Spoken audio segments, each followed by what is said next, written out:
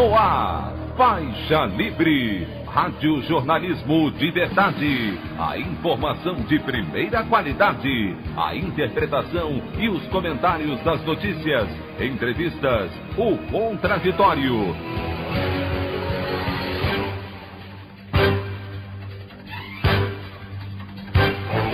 Tudo para aproximar você cada vez mais da realidade do Brasil e do mundo. Apresentação Anderson Gomes. Em discurso de abertura da Assembleia Geral da ONU, presidente Jair Bolsonaro diz que Brasil é vítima de campanha brutal de desinformação sobre a Amazônia e Pantanal, culpa Venezuela por derramamento de óleo na costa brasileira e critica a suposta cristofobia, entre outros absurdos. Declarações do presidente brasileiro são classificadas como delirantes, negacionistas e infundadas por entidades de todo o mundo. Senado aprova indicação e Nestor Foster é confirmado embaixador do Brasil nos Estados Unidos. Essas e outras notícias na edição desta quarta-feira, 23 de setembro do ano de 2020 do programa Faixa Livre.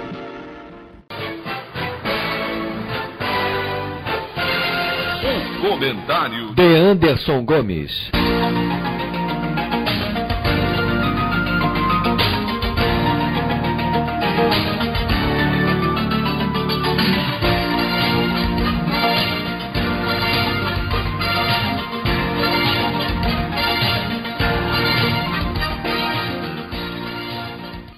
Bom dia, ouvintes.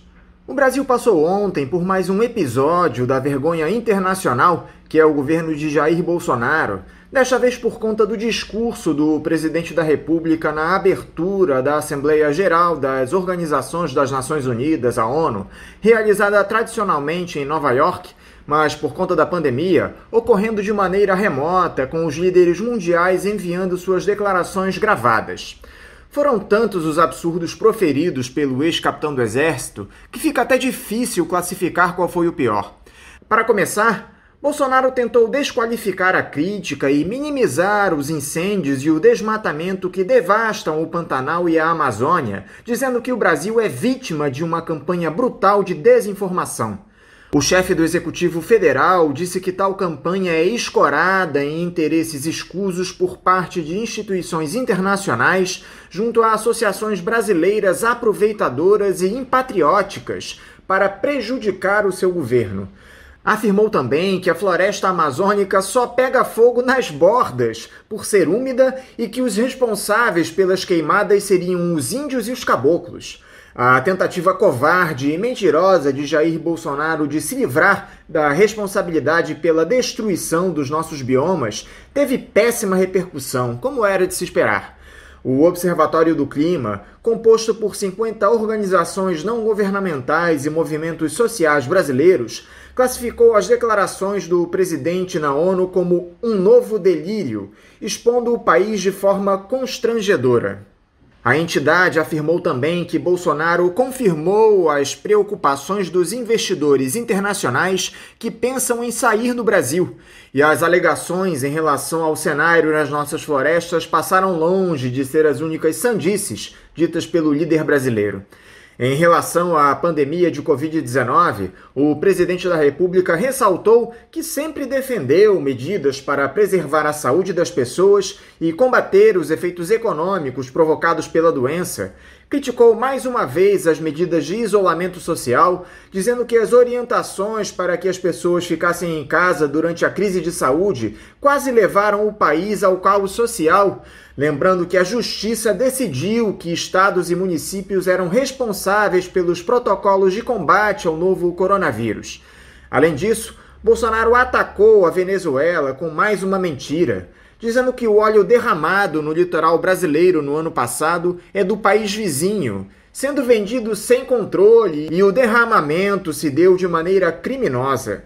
Para completar a alucinação bolsonarista, o ex-capitão pediu o combate à cristofobia no mundo, reafirmando o Brasil como um país cristão e fez rasgados elogios ao presidente dos Estados Unidos, Donald Trump, candidato à reeleição.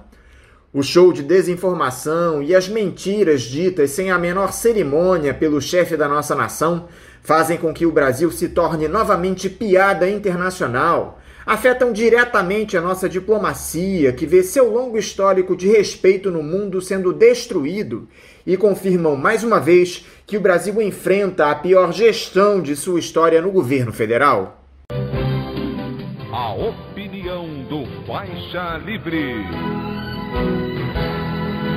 Bandeirantes, Bandeirantes, Bandeirantes, 1360. Estamos apresentando Faixa Livre. Voltamos a apresentar Faixa Livre. Estamos de volta, ouvintes, com o início da edição de hoje do programa Faixa Livre, que tem na sua produção a jornalista Celeste Sintra, auxiliada pela também jornalista Natália Moraes, tendo no comando do áudio o Francisco.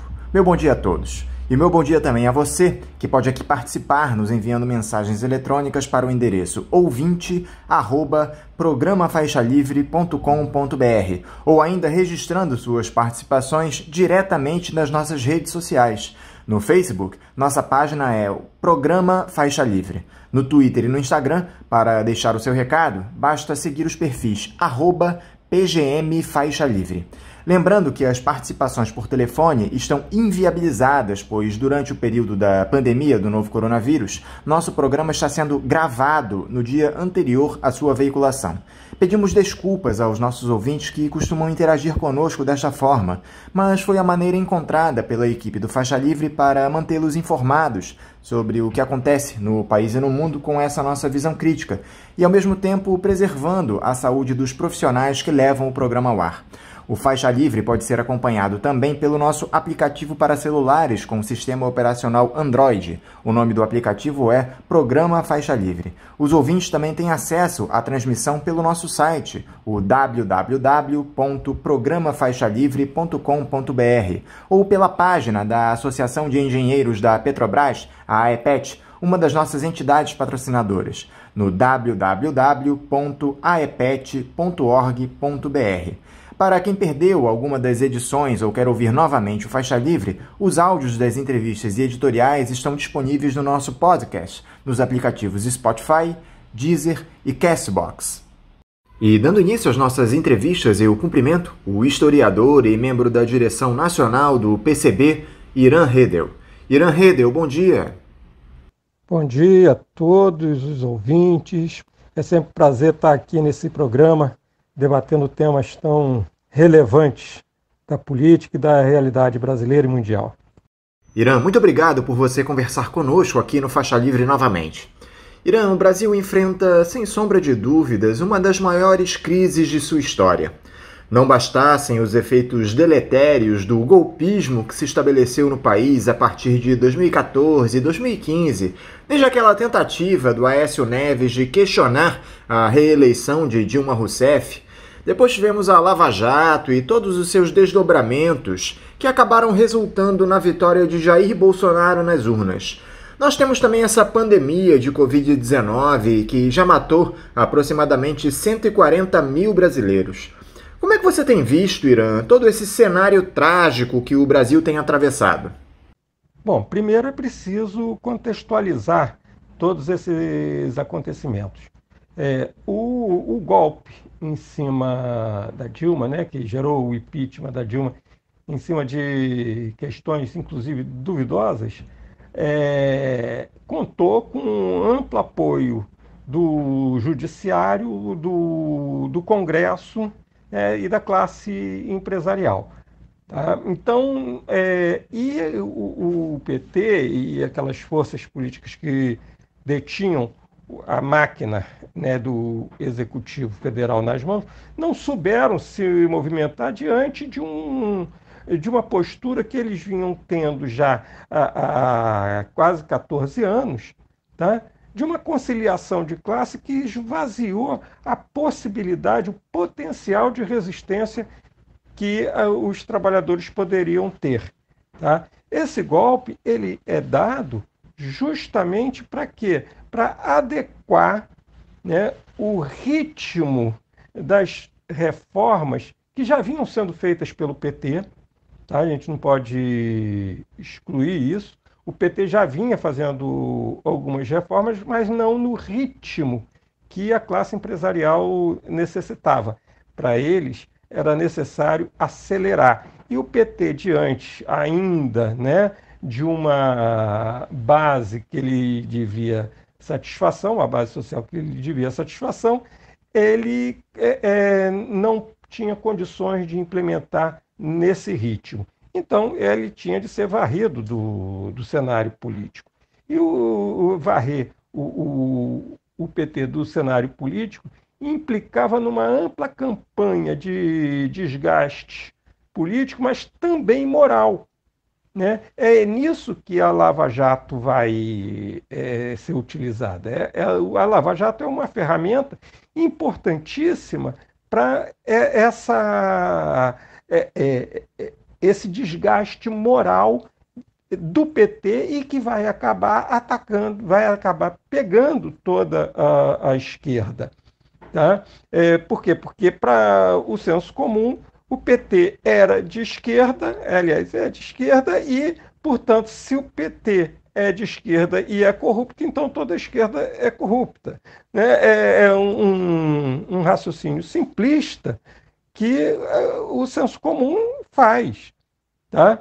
Então, é, é, a Lava Jato ela envolve é, o parlamento, envolve o, o, o, Congresso Nacional né, e envolve também o Judiciário. Eles estão aliados nesse, é, nesse rearranjo das forças políticas.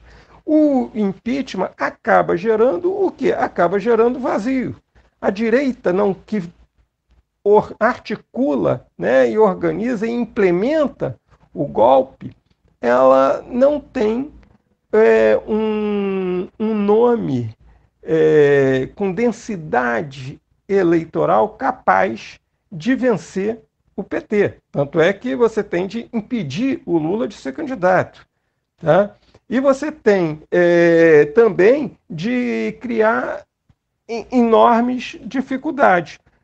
Com isso, o judiciário é perfeito para fazer. E o, o, Sérgio Moro é um, um, uma figura que se presta a esse papel, e o, o, o Tribunal lá do Rio Grande do Sul também, quando legitima. Ou seja, é, esse cenário é um cenário para poder implementar as reformas. Tá? As reformas num tempo mais acelerado e, com isso, adequar a estrutura econômica é, do país, a, a, pelo menos as relações é, trabalhistas, ao, ao novo cenário que o capital exigia. Ora, vem a pandemia, vem a pandemia e ela é, expõe a, a, justamente o, o, a perversidade desse modelo. Por quê? Porque ela vai atingir justamente a população mais pobre. Por quê? Porque nós temos de lembrar que houve o congelamento de gastos da, na área da saúde tá? e que e o sucateamento que já vinha sendo feito né, no governo Temer, por exemplo, é, é, da, é, é da, da, estrutura de, de saúde pública.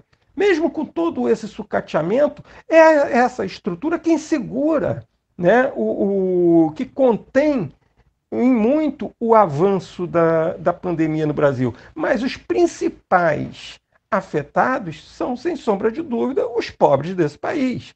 Tá? E aí é, põe é, é, em evidência né, o, a falta de saneamento, a, a, a, falta de política habitacional para essa população, a favelização do país. Então, é, essas são questões que vão é, é, criar todo um, um cenário favorável tá? é, à expansão é, é, da direita no, no país. Né? É óbvio que a pandemia vem já no governo Bolsonaro, mas o, o Bolsonaro ocupou um espaço é, que, que foi deixado né? É, porque o PT foi anulado politicamente nesse, é, é, no cenário nacional e a direita não conseguiu ocupar. Então, a extrema-direita cai como uma luva. Inclusive, alguns dizem assim: ah, mas o empresariado não está satisfeito com o Bolsonaro, porque o Bolsonaro é, é, é bronco e tal. A direita está satisfeitíssima com o Bolsonaro, porque com ele é capaz de implementar essas reformas com toda a truculência necessária para calar é, a oposição. E comprar também né, aqueles fisiológicos que, no meu ponto de vista, ocupam quase que 80%, se não mais até, é, do Congresso Nacional. Mas o Bolsonaro, Irã, tem deixado claro que está governando o país de olho na sua reeleição lá em 2022.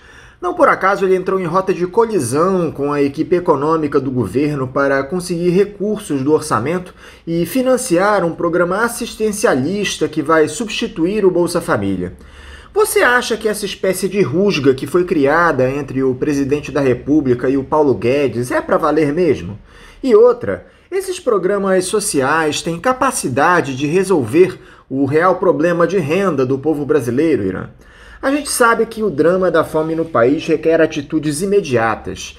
Mas não seria importante investir em capacitação dos trabalhadores para que eles possam ter uma condição de vida digna a partir do seu próprio esforço? Bom, para começar, esse desentendimento entre Paulo Guedes e o, o Bolsonaro é pontual. Tá? Não, não há divergência em termos de, de projeto econômico. O, o Paulo Guedes alinhado com os interesses do capital financeiro e, e dos grandes conglomerados econômicos internacionais. É, e o, o, Bolsonaro é o, o, meio para viabilizar esse projeto no ritmo que é, é, vem sendo implementado. Tá? É, agora, é óbvio que você, o, o Bolsonaro ele está preocupado com a reeleição dele. Não só porque ele quer implementar essa, esse projeto é, econômico, não sei nem se ele tem consciência, né, capacidade intelectual para entender qual é o, o projeto econômico que está sendo implementado. Mas a preocupação dele é porque ele e a família dele e as pessoas próximas a ele estão tão envolvido no emaranhado de denúncias de corrupção que ele, fora do governo, ele se torna um, uma vidraça muito é, fácil de ser quebrada. Ele estando no governo é mais complicado porque ele tem verbas para liberar para o Congresso, tem agrados a fazer é, para o judiciário, enfim, é, ele pode usar do cargo para se proteger. Né? Isso aí é uma coisa. Agora, é óbvio que essas políticas assistenciais elas respondem a um, uma questão imediata. Você está com fome, você tem de comer e você não tem comida. Tá? E não tem como comprar a comida.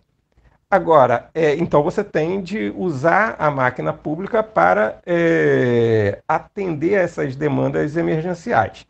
É, o problema é que a gente não pode ficar preso a elas. Esse foi um erro do, do PT, que caiu no assistencialismo populista né, é, e não fez avançar justamente a organização e a conscientização da população de que era necessário, é, o que, que era necessário fazer né? então ficou preso à política assistencialista que os coronéis do interior sempre fizeram, que as oligarquias sempre fizeram.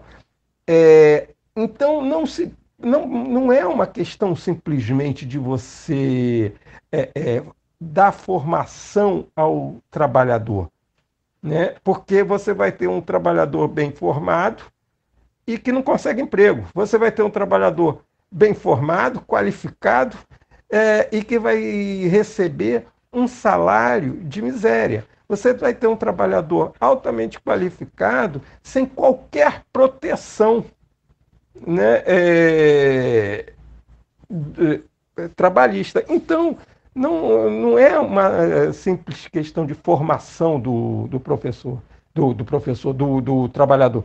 É necessário que você reordene as relações de poder, não só político como econômico desse país, para que haja sim aí uma é, é, alteração significativa no quadro social tá, do país. Então, é, essa ideia de que ah, não, nós vamos investir em educação para resolver o, o, problema do trabalhador, da falta de emprego, o trabalhador é mal qualificado, não é isso. Tá? isso é, é se fosse isso, o, o, os Estados Unidos estariam muito bem, os trabalhadores lá não estão tão bem assim, os Estados Unidos estão em crise. Tá? É, diversos países com, é, que são potência, quando não tem um amparo do, do Estado, os trabalhadores é, é, vivem uma situação de, de penúria.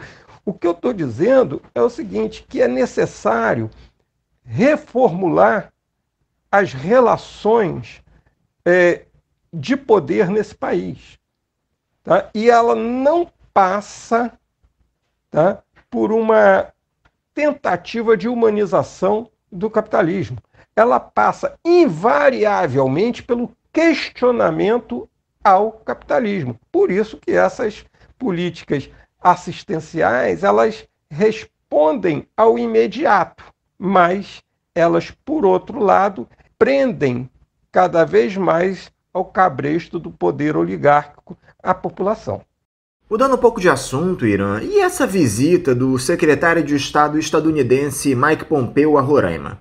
Qual é a análise que vocês do PCB fizeram para mais esse ato de servilismo do governo brasileiro, aliado de primeira hora de Donald Trump e engajado em sua reeleição em novembro?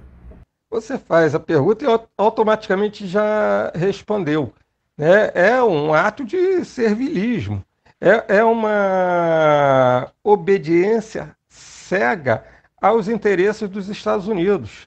Né? então, basta ver na questão econômica. Nós estamos isentando o, os produtos norte-americanos de impostos e os Estados Unidos nos taxam né, os produtos. E não há questionamento a isso. Agora, não espanta essa postura do governo é, Bolsonaro. Tá? Por que, que não espanta? Porque ele está aí para isso mesmo. Ele, ele veio para isso. Ele foi financiado né, é, politicamente, foi dada uma carta né, de, de, é, é, de apoio do governo Trump ao, à campanha do Bolsonaro. Né? É, então, o, o, que a gente vê aí desse servilismo, né? só fica espantado quem acreditou que o Bolsonaro fosse fazer algo de diferente. O Bolsonaro veio para isso.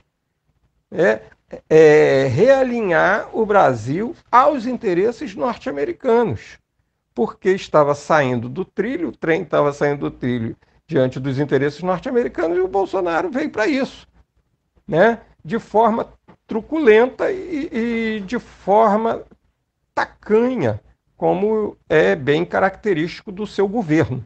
Né? Ali eu não vejo quem é que se salva, né? diga-se passagem da equipe governamental.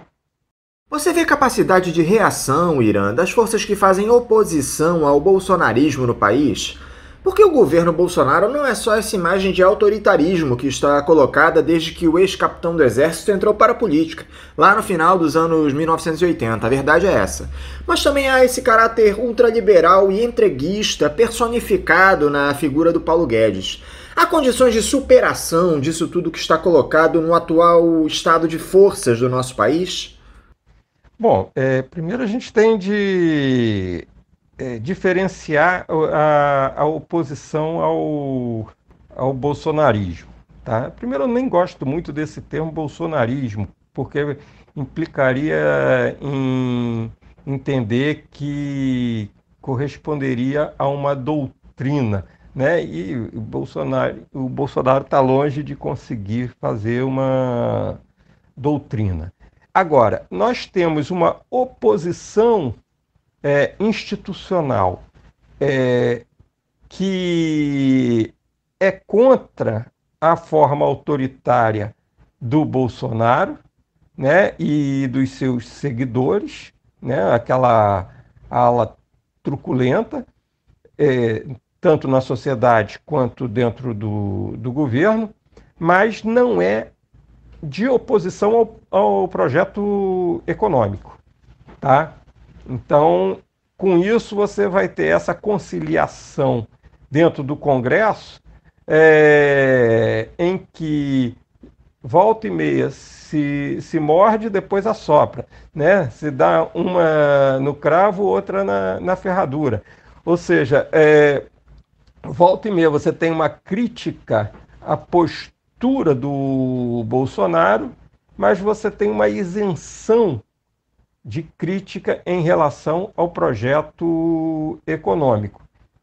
É, isso aí é uma coisa. Nós temos um, um setor progressista dentro do Congresso que também está muito preso à, à, questão eleitoral. Então, está é, o tempo todo jogando é, para a plateia no, no, no, discurso contra é, o Bolsonaro, o Bolsonaro é fascista, o Bolsonaro é isso, o Bolsonaro é aquilo e tal, mas também não é capaz de articular uma oposição ou uma crítica mais consistente ao projeto econômico que está sendo posto em prática.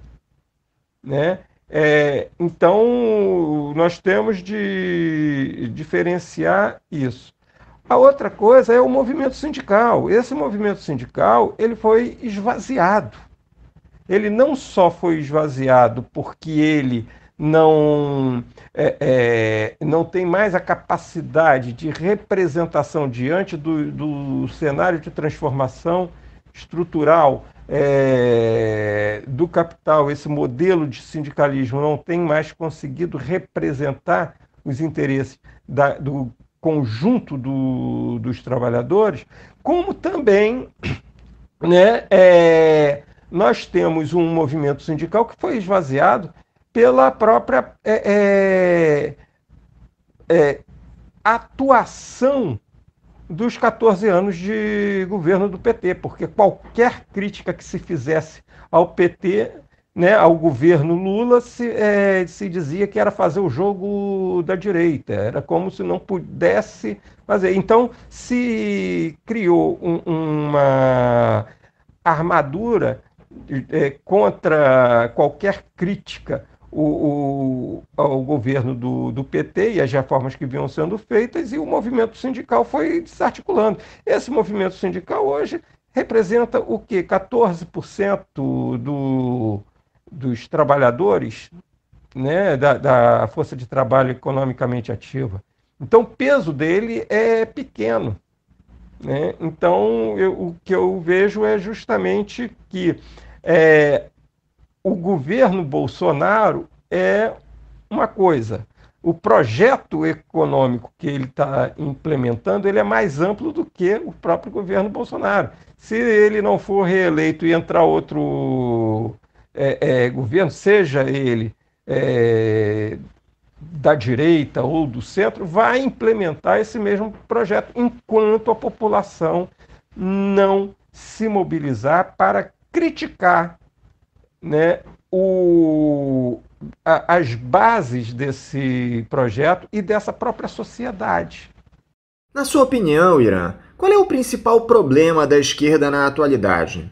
É a falta de união entre os partidos, mais preocupados com seus interesses eleitorais? É a ausência de um projeto de país que coloque o trabalhador como protagonista da nossa nação?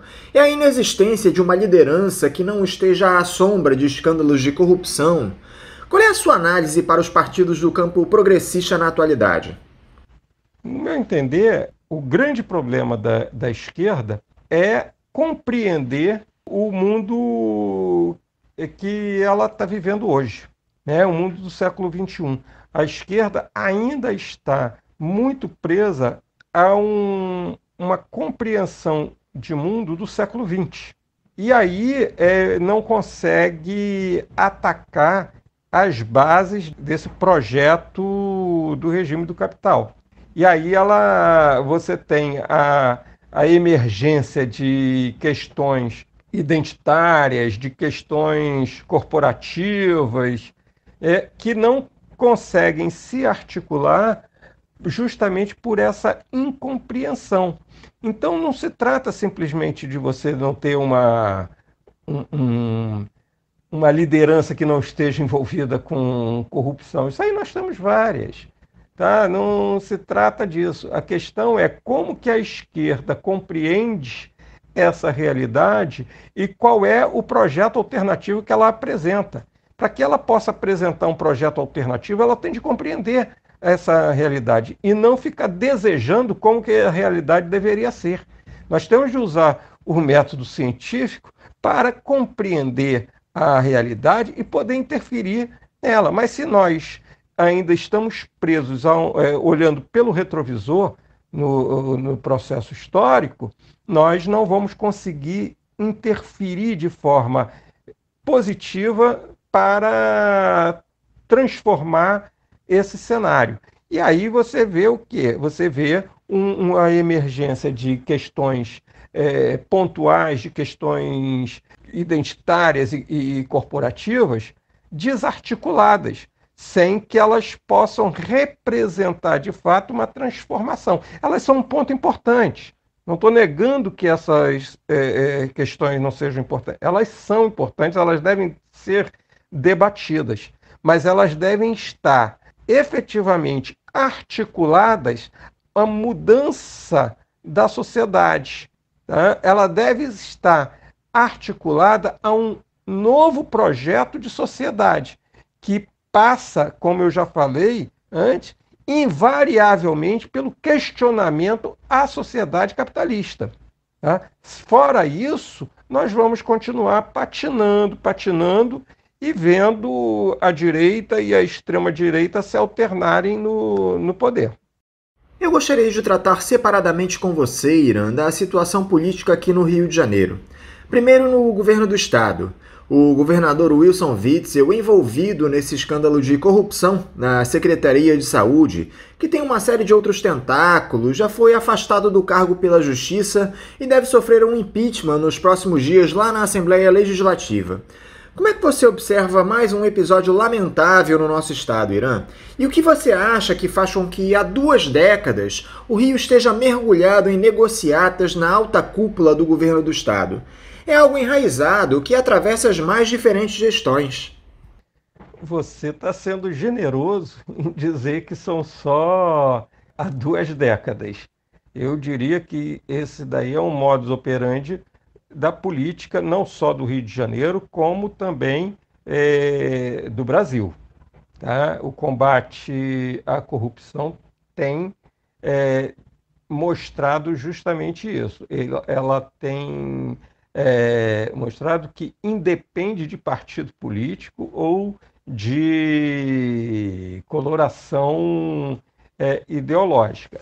Tá? Então, essa prática, que eu digo que ela é estrutural, ela só tem condições de ser modificada com a efetiva participação na fiscalização e na condução do processo político do conjunto da sociedade.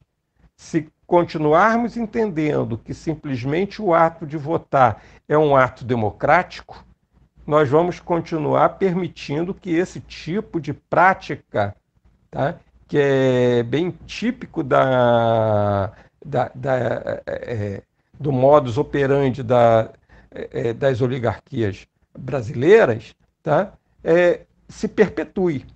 Né? O, o distanciamento do processo político por parte da população ele é gerador dessas, dessas situações.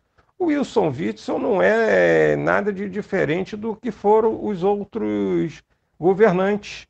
Né? Simplesmente só está se pegando aqui agora é, é, do garotinho para cá. Né? Mas se você recuar, né? Vamos lembrar do, do, do também do, do Marcelo Alencar, né, da, da, dos escândalos. E se formos recuar, né, aí temos na década de 70 o Chagas Freire, ah, temos antes, na, é, na década de 80, Moreira Franco, o próprio é, governo do Brizola teve também escândalos de corrupção, sabe? Ou, ou seja, não estou dizendo que o, o Brizola fosse, mas você tinha estruturas corruptas dentro da máquina governamental e que é, não vai ser a figura de um político que vai resolver isso, sem que se tenha a população organizada nas ruas exigindo essas mudanças, porque aí se pressiona o judiciário, que também é uma caixa preta, né? É, se pressiona o legislativo, que também é uma caixa preta, né? e o executivo. Ou seja, é necessário que a, a, a população organizadamente vá para as ruas exigir uma mudança. E essa mudança implica obrigatoriamente no questionamento a esse modelo é, político brasileiro. Já no município, Irã, o prefeito Marcelo Crivella provou que tem cuidado muito bem das pessoas, mas só daquelas que estão no seu entorno, dos tais guardiões. É a tentativa de cercear o trabalho da imprensa e proibir denúncias na porta dos hospitais, é envolvimento com desvio de recursos na Rio Tour e uma casta de vereadores que sequer permitem a abertura de investigações na Câmara. Ainda que nós soubéssemos lá atrás, Irã, que o Crivella estava comprometido com as pautas do seu grupo religioso, dava para esperar todos esses episódios graves que foram revelados no último mês? Qual é a sua análise para todo esse processo aqui no município? Veja bem, eu não classificaria a atuação do Crivella em função da questão religiosa, apesar de que nós sabemos perfeitamente que é, esses grupos religiosos, né, não vamos generalizar, mas de cunho neopentecostal, eles são perfeitamente adequados a uma mercantilização da fé. Então, esse é um, um, um dado. Mas o Crivella em si, né, ele não é, é dissociado dessa estrutura é, política que é, é da, é, da prática oligárquica. Tal qual a gente estava analisando a questão do Witzel, tá? tal qual a gente pode jogar para a questão do, do governo federal, Tá? O Crivella está perfeitamente engajado e integrado a essa lógica e essa estrutura é, política oligárquica que é desse jeito que se faz a política no, no Brasil. Tá? Por isso que eu estou colocando que nós não teremos uma mudança de comportamento político sem a participação da população. Nós não teremos uma mudança do modelo político sem que essa população esteja na rua, pressionando né, as três esferas do poder público, seja ele do município, seja ele do estado ou federal. Né? é a população na rua quem vai é, exigir a mudança, não vai ser um, um indivíduo é, iluminado que vai simplesmente conduzir. Não. É, é, importante a gente ter liderança, é fundamental que se tenha liderança.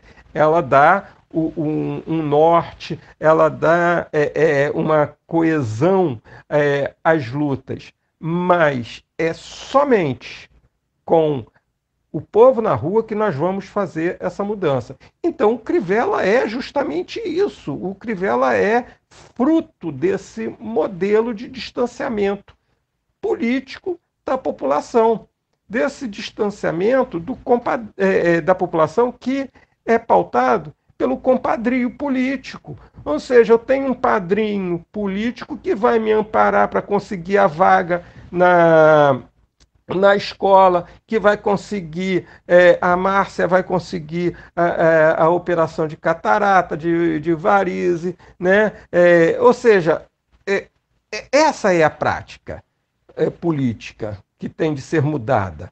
Né? O Crivella simplesmente foi mais cara de pau expondo isso aos quatro cantos.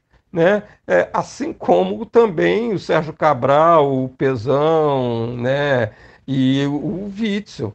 Né? É, é, o problema deles para a elite é, política dirigente é que eles expuseram o, é, é, o modelo que tem de ser tratado né, hipocritamente por debaixo dos panos. Eles não podem ser tão descarados assim, e por isso eles vão ser punidos. Punidos por aqueles que também praticam.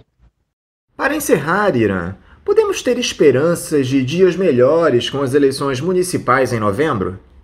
Bom, eu não sou tão otimista que a curtíssimo prazo e pelo simples fato de se votar vai mudar o cenário, porque você tem toda uma relação de dependência política, econômica e social é, de uma população que está é, é, presa a essa lógica.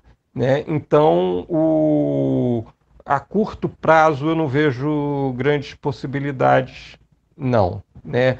Não podemos ter essa falsa esperança. Mas ela pode ser um, um sinalizador da necessidade que se tenha de da esquerda se é, sentar à mesa para debater um projeto alternativo. Não dá para que cada partido, cada segmento social de esquerda, é, é, ele haja independentemente. É necessário se construir um projeto alternativo. Para se construir o projeto alternativo, é necessário que se discuta a realidade a partir de critérios objetivos, né, é, de como que é, seria viável é, essa mudança. Né? Fora isso, nós vamos continuar patinando né? a cada eleição. Podemos eleger um parlamentar que ganha mais projeção do que o outro e tal, que tem um discurso mais à esquerda, mas não passaremos disso. Por quê? Porque está carecendo a esquerda é justamente um projeto viável, um projeto palpável para essa população, para que ela possa né, acreditar que é possível a mudança. Irã Redel, muito obrigado por mais uma vez você conversar conosco aqui no programa. Eu te desejo um ótimo dia de trabalho e um forte abraço. Obrigado pelo convite, obrigado a todos e podem contar comigo para continuar debatendo esse tema tão instigante. Conversamos aqui com o historiador e membro da direção nacional do Partido Comunista Brasileiro, o PCB, Irã Redel. Vamos agora ao nosso primeiro intervalo. Voltaremos daqui a pouco. Voltamos a apresentar Faixa Livre. Já voltamos, ouvintes, e agora eu saúdo o professor de História Contemporânea da Universidade Federal Fluminense, a UF, Bernardo Kocher. Bernardo Kocher, bom dia. É, bom dia, Anderson. Bom dia, ouvintes do Faixa Livre. É um prazer estar aqui com vocês novamente. Bernardo, muito obrigado por mais uma vez você dialogar conosco aqui no programa. Bernardo, na última semana, o presidente dos Estados Unidos, Donald Trump, intermediou a assinatura de um acordo diplomático que, na teoria, normaliza as relações entre Israel, Emirados Árabes e Bahrein com o reconhecimento do Estado israelense. Como era de se esperar, esse tratado não foi bem recebido pelos palestinos. Há alguns analistas, inclusive, dizendo que a paz neoliberal chegou ao Golfo Pérsico. Como é que você observa a assinatura desse acordo, Bernardo? Isso pode de fato trazer calmaria para aquela região do Oriente Médio? Bem, Anderson, esse acordo que normaliza as relações diplomáticas entre os três estados é de fato uma diplomacia econômica, muito mais que uma diplomacia geopolítica. Ele traz para a região um componente a mais, que seria a ilusão de que parte dos Estados Árabes já estaria é, aceitando o Estado de Israel. Então, isso aí é um problema que turva é, a percepção de, de, muitas pessoas sobre a questão é, do Oriente Médio. Mas, de fato, é, não introduz nenhum fator de estabilização, de pacificação, porque há uma distância muito grande dos Emirados Árabes e de Bahrein é, em relação ao restante do mundo árabe, dos problemas concretos do mundo árabe, que envolve fronteiras, problemas de desenvolvimento econômico. São estados muito ricos e muito sofisticados é, em busca de uma nova inserção é, econômica internacional, já que o universo do petróleo ele tem uma data limite de cerca de algumas décadas, cinco, seis décadas. A partir daí, o, o, a extração de petróleo vai começar a declinar e vai haver problemas nessa área.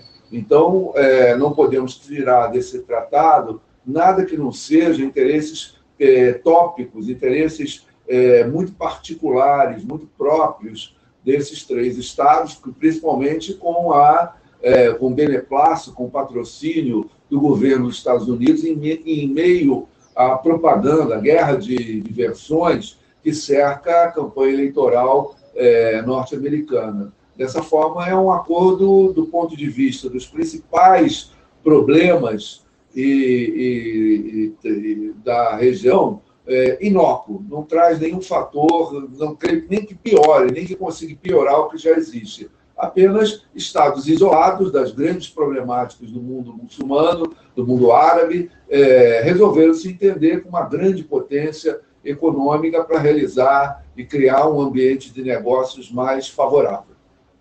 E como é que isso pode influenciar a corrida presidencial lá nos Estados Unidos, Bernardo? Esse tipo de mediação promovida pelo Donald Trump pode ter reflexos nas urnas?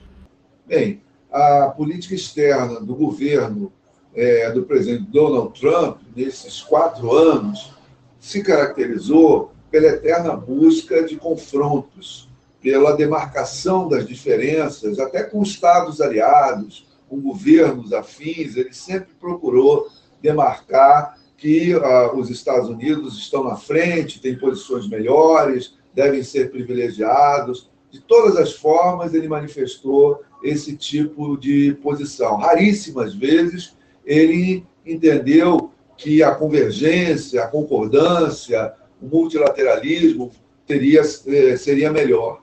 É, nesse sentido, eu creio que, visto isso, essa atitude, sim, tem intenção, se vai conseguir atrair novos eleitores, eu não sei, mas tem a intenção de atrair eleitores como, por exemplo, o grande eleitorado de judeus dos Estados Unidos da América, que chegam a ter 7 milhões de habitantes, sendo de judeus, muitos deles eleitores e de eleitores democratas. Ele apresenta para eles uma mediação vitoriosa, ele apresenta um resultado positivo, que pode ser entendido, e ele quer que seja assim, como sendo o desejo dele de pacificar.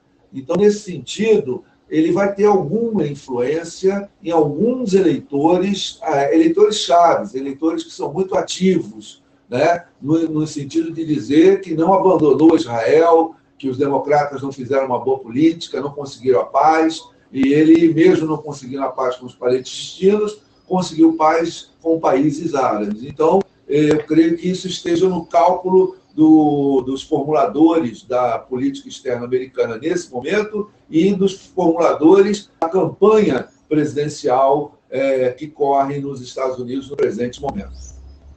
Por outro lado, Bernardo, o Donald Trump segue em conflito lá com os chineses.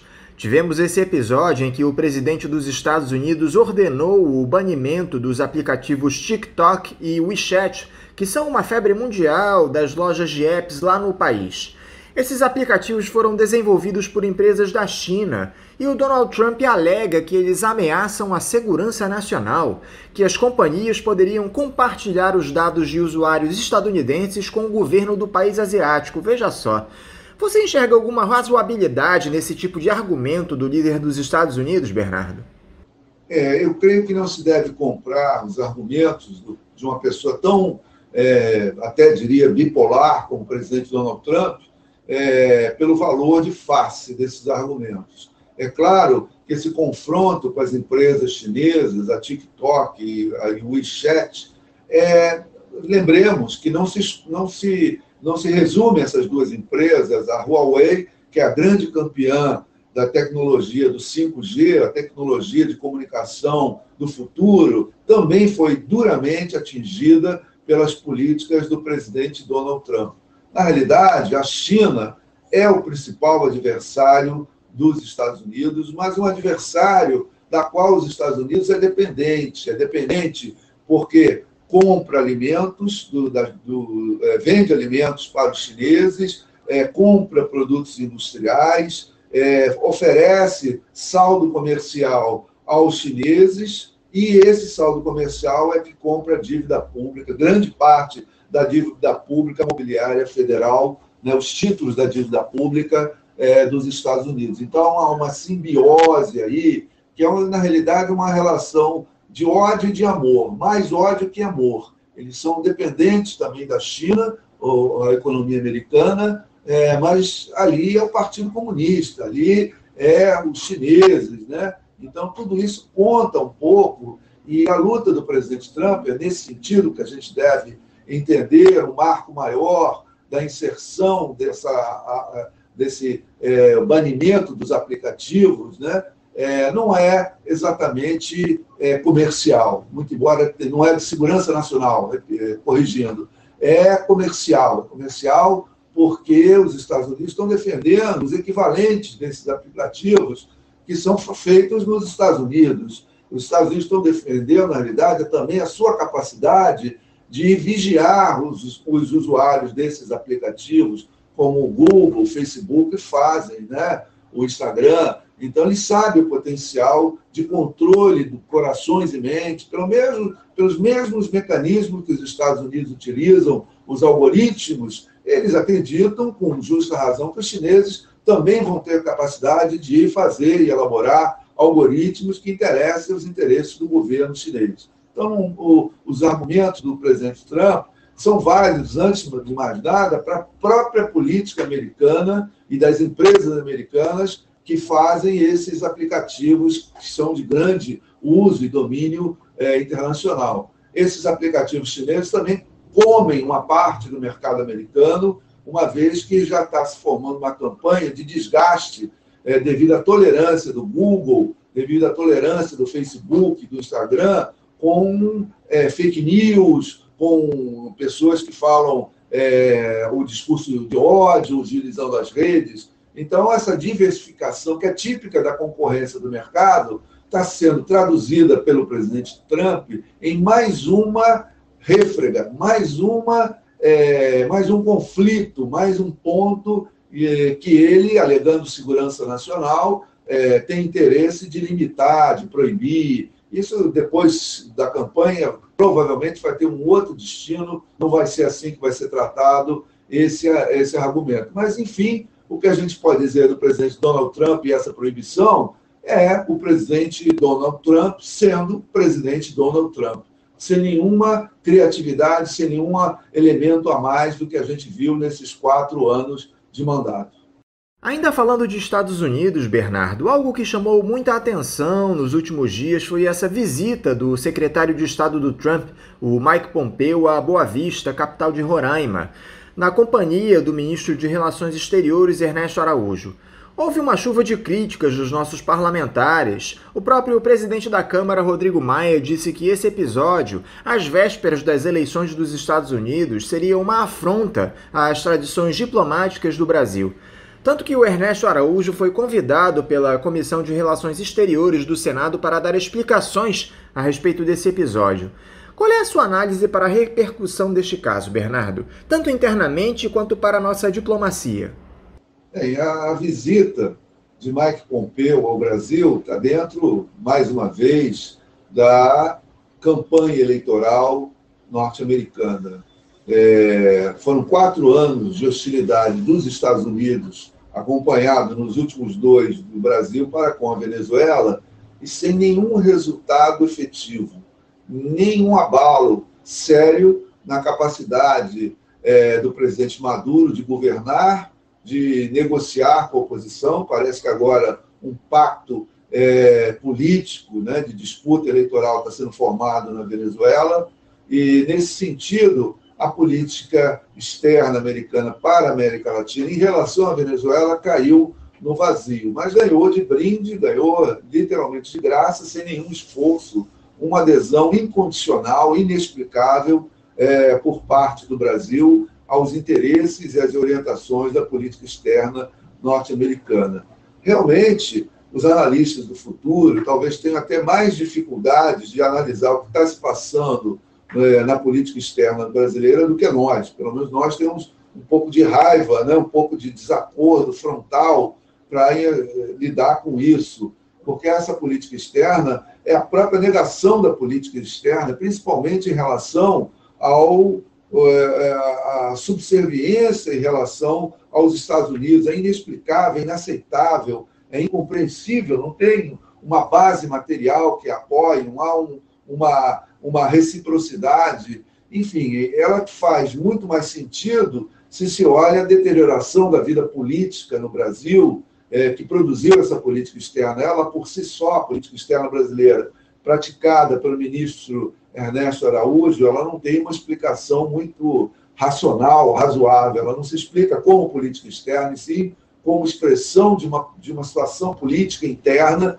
bastante deteriorado, e aí eu acho que deveríamos avançar para análise política interna. Né? Nós vivemos uma democracia muito frágil muito é, em 30 anos de democracia, de chamada redemocratização, desde a Constituição de 88, a nossa democracia foi frágil, foi sempre ameaçada, foi sempre com muitas dificuldades de atender às necessidades dos cidadãos, é, muita corrupção, até que ela colapsou a política interna e gerou um, um monstro, uma coisa monstruosa, que é o atual governo. É, nesse sentido, essa a base social desse governo é que deve ser entendida para produzir uma política externa tão estapafúrdia, tão é, equivocada, tão sem princípios, né? É, que vai custar caro para a gente. Né? Não que não seja possível restaurar padrões de civilidade diplomática, isso é uma coisa fácil, mas as perdas materiais a que estamos expostos significa empobrecimento da nossa população. É isso que essa política externa está colocando custos, né? custos muito caros, com é, perda de oportunidade, por associações indevidas, e vai gerar uma desconfiança de muitos parceiros e de muitas empresas que não vão querer vir para o Brasil, não vão querer ter o Brasil é, em, em um momento de tanta delicadeza, tão delicado quanto é o momento que nós vivemos, em função da crise é, provocada pelo pelo coronavírus, o Covid-19. É, é aí que as nossas perdas se transformam. O que era dramático antes do Covid, é, agora se transformou em algo é, é profundamente, é, enfim, catastrófico. Né? Nesse momento estão sendo negociadas vacinas, estão negociados medicamentos, uma série de coisas que o Brasil está perdendo oportunidades. Né? O Brasil só comparece para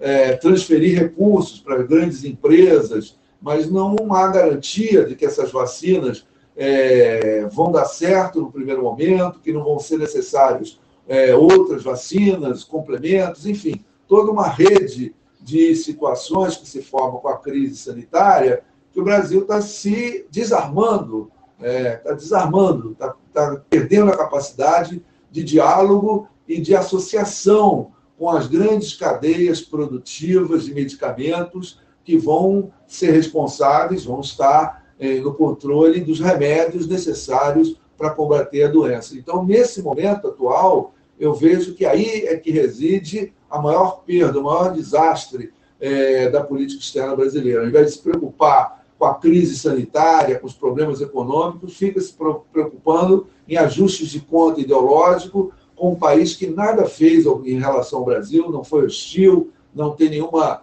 é, afirmação vinda dos governantes venezuelanos é, de hostilidade, e sim sempre uma postura equilibrada e de busca de convívio. Enfim, é uma perda, né? nós vamos sentir isso ao longo dos, dos meses e anos que vêm pela frente. Bernardo, a Assembleia Geral da ONU, que começou ontem e está sendo realizada pela primeira vez de maneira virtual, contou mais uma vez com o discurso de abertura do chefe de Estado brasileiro, no caso Jair Bolsonaro. O nosso presidente questionou a imagem negativa da política ambiental brasileira, algo que já era esperado. Como é que você observou essa fala do ex-capitão do Exército lá na ONU, Bernardo? Você acha que os líderes mundiais receberam bem esse discurso do Bolsonaro? Olha, é, o juízo que os líderes internacionais é, têm do presidente da República Federativa do Brasil já foi formado. Né? Depois de é, dois anos quase de mandato, é, não há mais o que descobrir nesse personagem que é, é ocupa o cargo máximo da República em nosso país.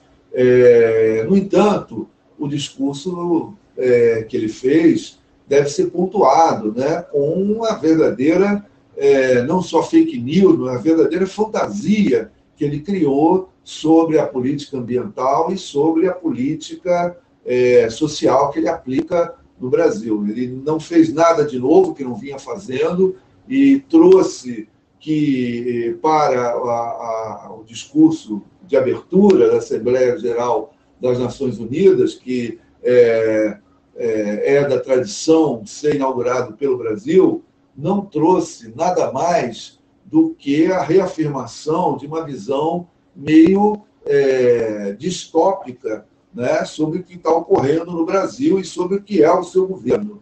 A insistência dessa, desse tipo de, de abordagem, dos argumentos que ele colocou, falseando é, os benefícios da política ambiental, da política social, das alianças e, com os Estados Unidos e do elogio que ele fez aos Estados Unidos, é, é, é, é, fora de tom do que é a Assembleia Geral das Nações Unidas.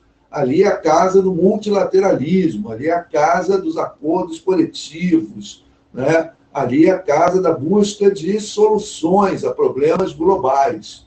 E cada país procura contribuir com o que se passou, fazendo um levantamento da sua vida no último ano, mas o, o que trouxe o presidente Jair Bolsonaro não é nenhuma novidade, ele é incapaz de formular um problema e, incapaz de formular a solução que foi dada a esse problema.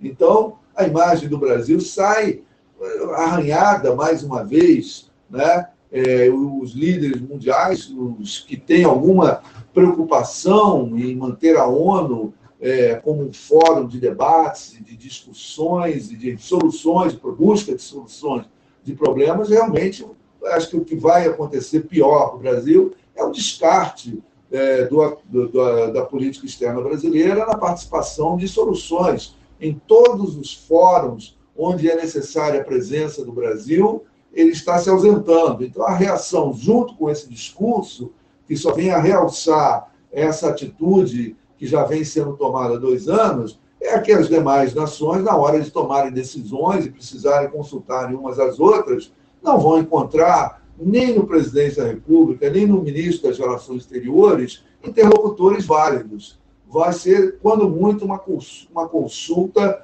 pro forma, só para saber, para dizer que fez a consulta, então, o resultado disso é o isolamento. Né? O isolamento, como eu falei anteriormente, nesse momento de crise sanitária, que vai ser seguida de uma crise é, econômica, isso é inegável, ninguém tem capacidade, nenhum analista tem capacidade de dizer é, que não vai haver crise, crise econômica. E mais do que isso, é, os primeiros que saírem da crise sanitária vão ser os primeiros que vão sair da crise econômica, vão ter as condições de sair da crise econômica.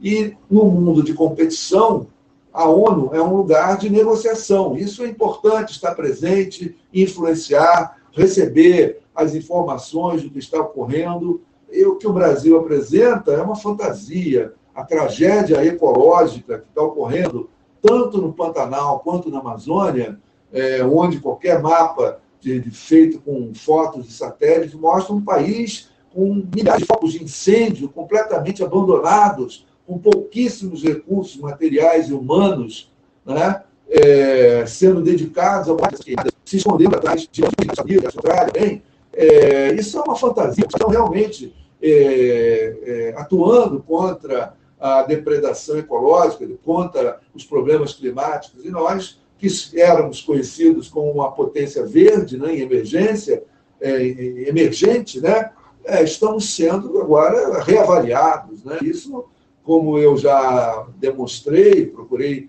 opinar, é, vai trazer consequências no curto prazo que vão ser catastróficas. Quem é que vai ousar propor alguma ajuda ao Brasil para remediar os problemas das queimadas? Quem é que vai é, se interessar por enviar pessoas, técnicos, mesmo de é, organizações não governamentais ou, ou, estatais ou qualquer universidade, se tem um governo avesso a esse tipo de contato, é, não diria nem politicamente estabelecido, mas humanamente estabelecido. O Brasil precisa de ajuda internacional para lidar agora com os efeitos da queimada, da, da vasta queimada que está ocorrendo é, no nosso patrimônio ecológico. Então, é, vamos pagar, mais uma vez, reafirmo, vamos pagar um preço caro no curto, no médio e no longo prazo por, por atitudes tão fantasiosas, tão equivocadas, que parte das nossas elites, de classe médias, acabaram levando a reboque setores da classe trabalhadora e elegeram uma opção política que é totalmente apolítica e depredadora da vida política, quando na crise eh, sanitária e na crise econômica nós precisamos de ter uma ação política para reaver a nossa saúde pública e a nossa economia em funcionamento. O fato de o evento acontecer de maneira virtual, Bernardo, alivia a situação do Bolsonaro perante a comunidade internacional, especialmente com relação a esses incêndios dos nossos biomas? Como anda a imagem do Brasil lá fora diante de tudo que está colocado? É, bem, Anderson, essa pergunta que você fez, ela é muito interessante, né? Pensar uma resposta para ela é uma coisa muito interessante, né? É, eu venho me debatendo com esse problema já há algum tempo, né? desde a ascensão do atual governante, é, eu venho me debatendo com um fato muito curioso. É, desde o advento da República, em 1889, principalmente desde a chegada ao Ministério das Relações Exteriores, em 1902, do Barão do Rio Branco, nós sempre tivemos uma política externa, uma orientação de política externa, uma formulação de política externa e ação da diplomacia brasileira sempre muito interessante, sempre muito patriota, sempre em grandes traços, né, em grandes linhas gerais. É, podemos discordar desse ou daquele ministro, desse ou daquela orientação oriunda do chefe de Estado, mas sempre com densidade, sempre com formulação, visando a inserir o Brasil no contexto internacional, sempre muito difícil. Não é? E, ao longo de mais de 110 anos, quase 120, né, é, nós não nos envergonhamos nunca da nossa política externa. Né? Uma vez ou outra, como já salientei, algum governante, não é, é o primeiro ministro das Relações Exteriores é, do governo Castelo Branco fez aquela famosa declaração que é bom para os Estados Unidos, é bom para o Brasil, mas dentro daquele contexto ainda era uma formulação é, densa de política externa brasileira. Então nós não estamos acostumados a lidar com o que nós estamos assistindo no presente momento. Né? A imagem que o Brasil está é, gerando lá fora é a pior possível. O que salva é a tradição. A tradição é, de grandes diplomatas, de grandes posições diplomáticas é, em prol da, da paz, da negociação, do multilateralismo, que sempre foi uma necessidade do Brasil é, de se impor dessa forma é, no cenário internacional.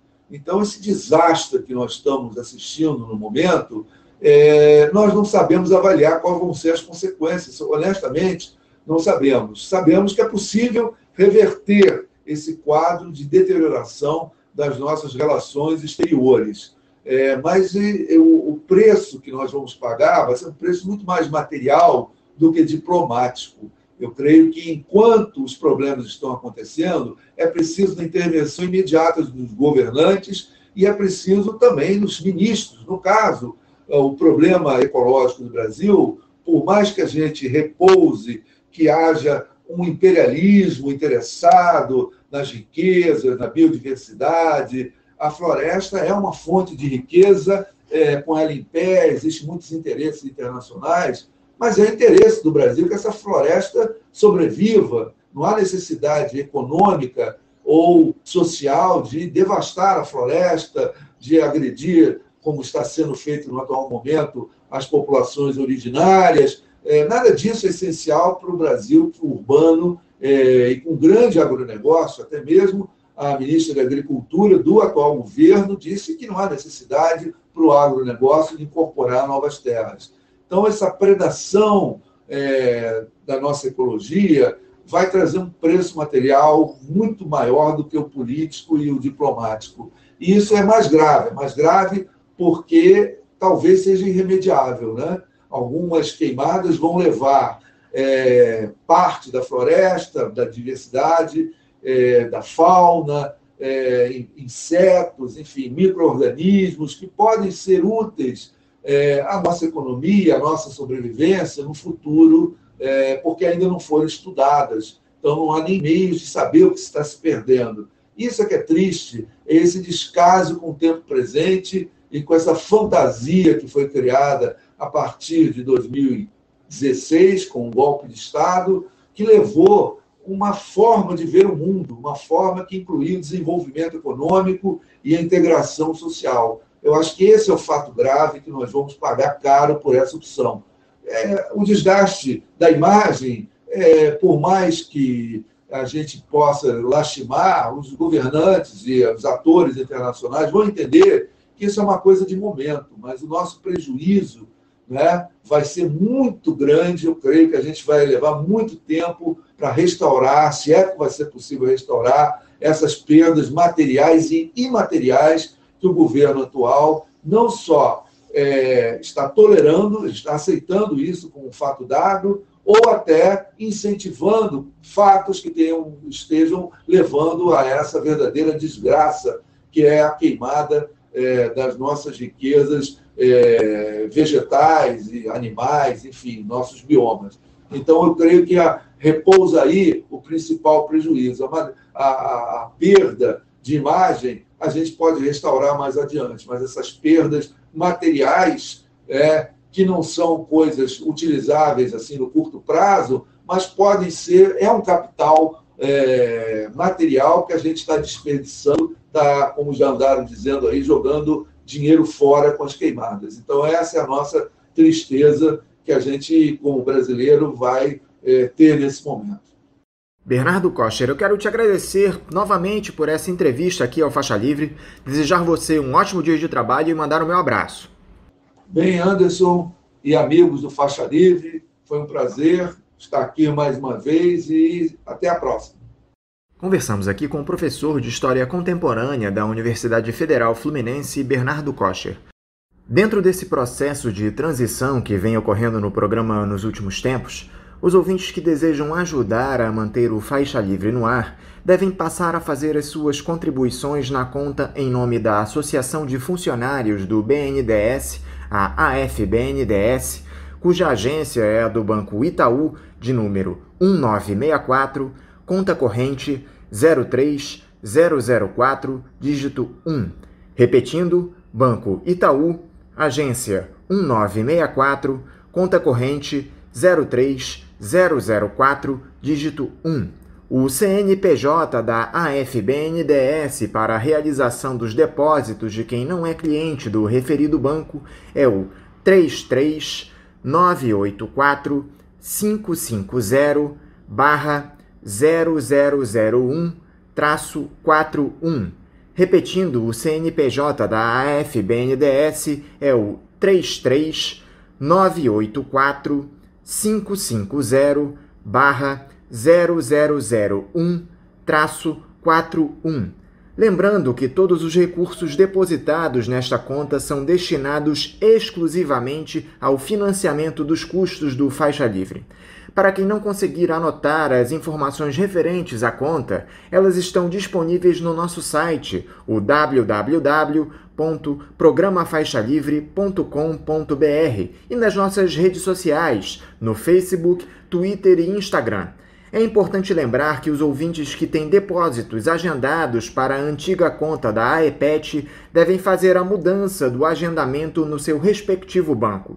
Repetindo mais uma vez a conta da AFBNDS do Banco Itaú, agência 1964, conta corrente 03004, dígito 1. Vamos agora a um novo intervalo, já já voltaremos. Voltamos a apresentar Faixa Livre. Já voltamos, ouvintes, e agora eu cumprimento a presidente do Sindicato dos Bancários do município do Rio de Janeiro, Adriana Nalesso. Adriana Nalesso, bom dia. Bom dia, Anderson e todos os ouvintes do programa Faixa Livre. Já quero aqui agradecer aqui o convite de estar aqui dialogando com vocês. Obrigada. Adriana, muito obrigado por novamente se dispor a conversar conosco aqui no Faixa Livre. Adriana, nós ficamos sabendo que vocês do Sindicato dos Bancários chegaram a um acordo com a Federação Nacional dos Bancos, a FENABAN, em relação à convenção coletiva de trabalho que estava em negociação. Nós chegamos até a te entrevistar aqui no programa a esse respeito. Eu queria saber primeiro, Adriana, como é que se deu esse acordo, quando ele foi fechado, ele atendeu às reivindicações da categoria? O que, é que ficou decidido?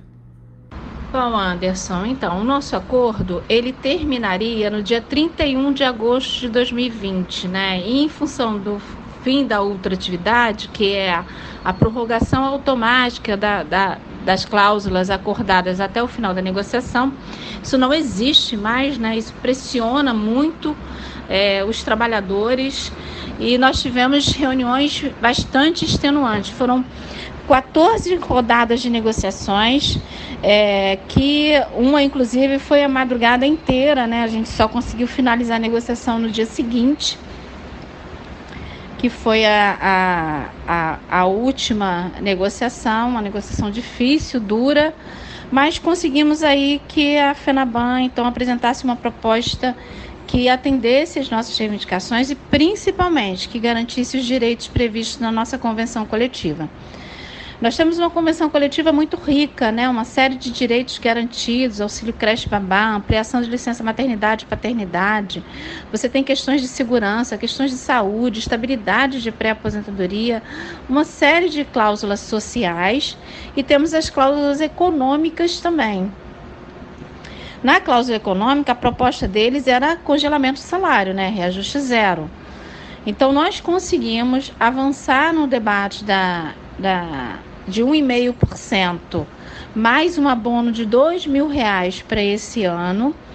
E para o ano que vem, o reajuste da inflação mais meio por cento. Então, é um acordo de dois anos que garante todos os direitos da nossa convenção coletiva, preserva os direitos e a gente ainda agregou, Anderson, duas questões. Uma é sobre o teletrabalho, né? Nós conseguimos colocar uma cláusula de teletrabalho na nossa convenção coletiva, porque em virtude da pandemia, né, é, nós é, vivemos um momento diferente, né? Parte significativa da categoria está no teletrabalho, está em home office. A gente sabe que isso é uma coisa que veio para ficar, então a gente precisava de alguma maneira garantir alguns direitos. O debate do teletrabalho está aí na sociedade, né? E o que a gente vê aí fora é a empresa querendo, não querendo pagar ticket de refeição, empresa é, dizendo que não tem que controlar a jornada, porque como você está em casa, você tem horário flexível, uma coisa meio absurda. E a gente conseguiu então colocar uma cláusula na nossa convenção coletiva, que é uma cláusula ampla, e agora a gente está discutindo por banco, né? Acordos específicos por bancos para garantir que os bancários tenham a jornada respeitada, que tenham direito à desconexão, que tenham todos os direitos preservados de acordo com a nossa convenção coletiva, ou seja, ticket refeição, ticket alimentação, enfim. É, o acordo que a gente fechou, além disso, de agregar essa cláusula do teletrabalho, nós também agregamos uma cláusula que é um debate que a gente faz na mesa de igualdade de oportunidades, que é um debate acerca de implementação de políticas direcionadas para mulheres bancárias vítimas de violência, né, Anderson? Você sabe que a violência aumentou contra a mulher nesse período de pandemia. Então, esse é um tema, a gente discute vários temas, né, ao longo do tempo. Aí a gente tem mesas específicas, a gente tem a mesa de saúde, a mesa de igualdade de oportunidades, enfim, e, e essa construção é uma construção que a gente já vem debatendo há algum tempo, né? Então, a gente conseguiu também agregar na nossa convenção coletiva uma cláusula né, que garante às mulheres é, vítimas de violência, mulheres bancárias vítimas de violência é, doméstica, o, a garantia do teletrabalho. E a gente está discutindo por bancos outras garantias também, como ah, a pessoa precisa se mudar, né? Que ela tem uma linha de crédito direcionada, com juros reduzidos, enfim, uma série de debates a gente faz para proteger essa mulher vítima da violência, essa bancária vítima da violência doméstica. Esse acordo tem validade de dois anos e garante aumento real de salário à categoria, o que é muito importante. Eu lembro que, inclusive, vocês chegaram a cogitar entrar em greve caso esse acordo não saísse. Como é que a mobilização dos bancários, Adriana, influenciou essa negociação? A gente vive um momento novo, não é, Anderson? Um momento em que parte, cerca de 50% da categoria está tá em teletrabalho. Então a gente teve que investir e investir rapidamente né, nas mídias sociais, né? então nas redes sociais.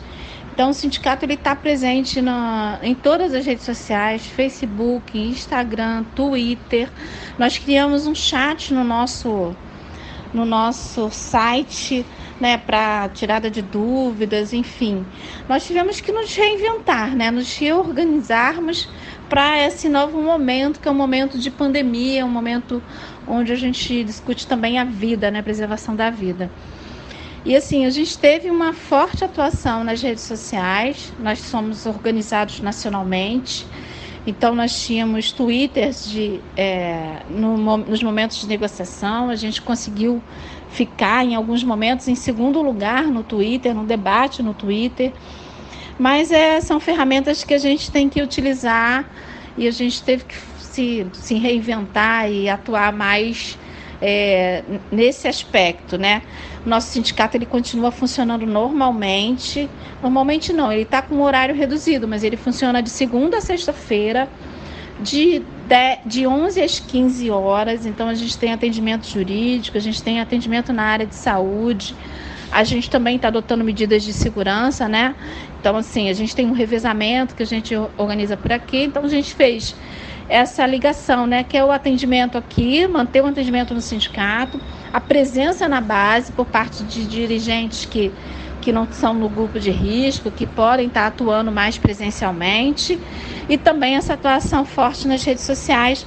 E os bancários se envolveram. Claro, como é uma coisa nova, né? Eu acho que a tendência é que isso se amplie, mas foi positivo.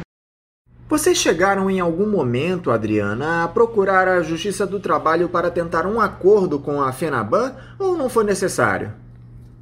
Não, não foi necessário buscar a Justiça do Trabalho para chegar num acordo, não. A gente, inclusive, a gente tem acompanhado aí os debates, né? Vários, várias categorias estavam em negociação. A gente tem os Correios, por exemplo, né, que teve uma liminar concedida pelo STF, garantindo as suas cláusulas e, e depois garantida pelo TST, aliás, e depois o STF foi lá e, e derrubou a liminar deles, enfim.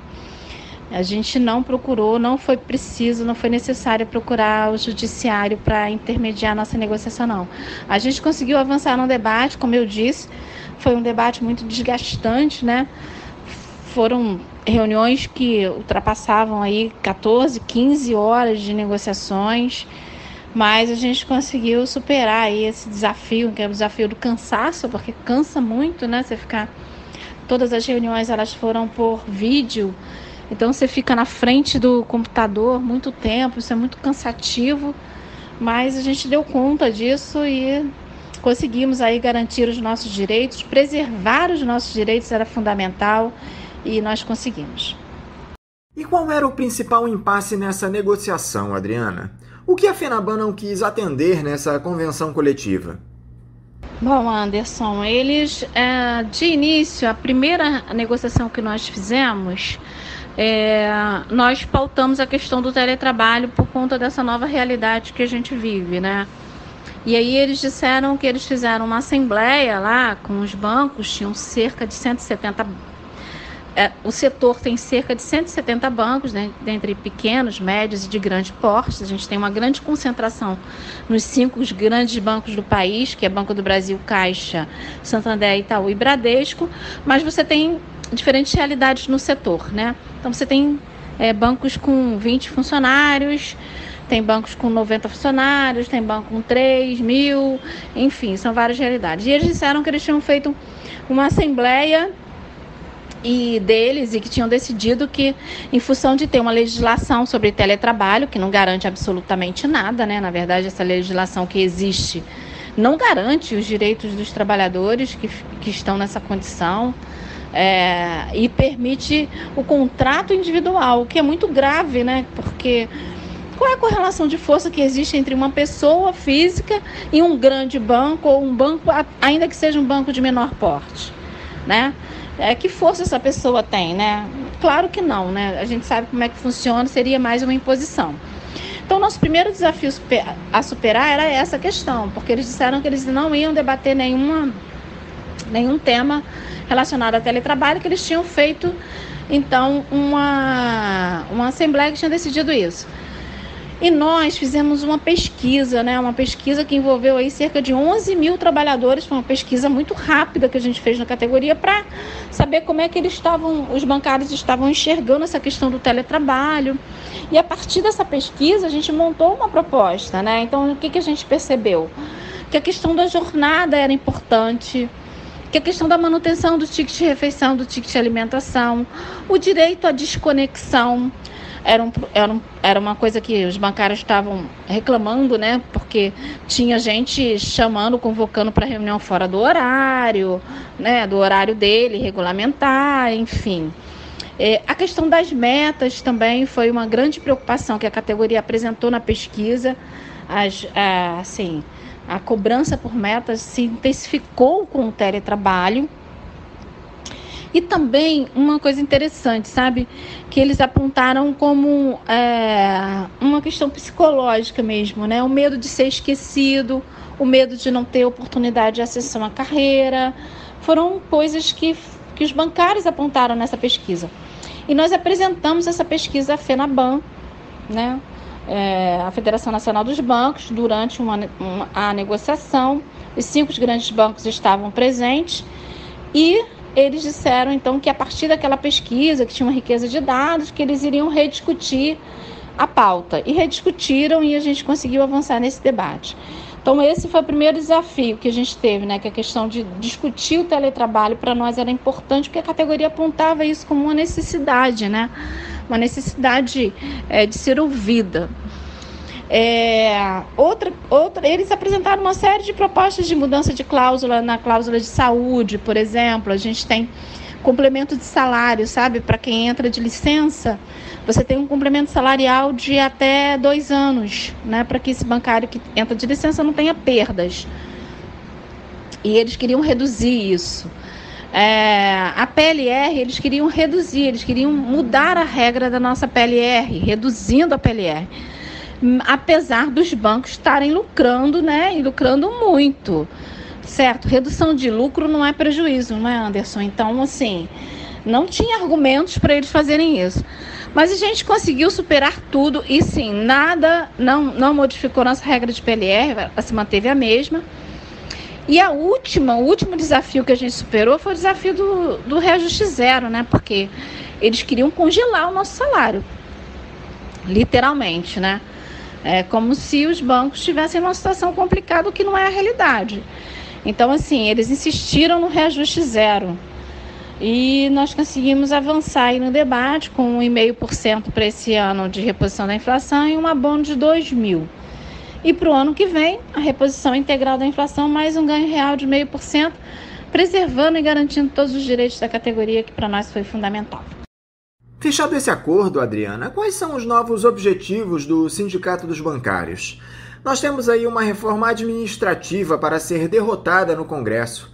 Como é que vocês viram essa proposta enviada pelo governo e como anda a articulação para combatê-la no parlamento? É, infelizmente esse governo ele só apresenta proposta para retirar direitos das pessoas, né? Impressionante. Foi a reforma da previdência, tem a reforma administrativa, mas quando você vai ver a lógica do governo, né? Nunca é para atender a quem mais precisa do amparo do governo eles tratam os funcionários públicos como se fossem inimigos. Isso é um absurdo, sabe? Quer dizer, a proposta extingue promoções automáticas e diversos benefícios considerados pelo Ministério da Economia como privilégios. Sabe? São privilégios. O governo considera isso um privilégio. Mas o mais interessante é que ele não acaba né, com esses privilégios para alguns setores, como, por exemplo, parlamentares militares, membros do Ministério Público, magistrados. Ou seja, não, não, assim, é, é, é, é, tão absurdo, né? É tão absurdo se acabar com a estabilidade. As pessoas estudam, às vezes, para passar, muitas vezes, para passar num concurso, para ter alguma garantia, né? Porque a gente tem um mercado de trabalho, assim, todo desestruturado a partir da reforma trabalhista que retirou direitos, que permite a precarização do trabalho que amplia, na verdade, a exploração dos trabalhadores, né?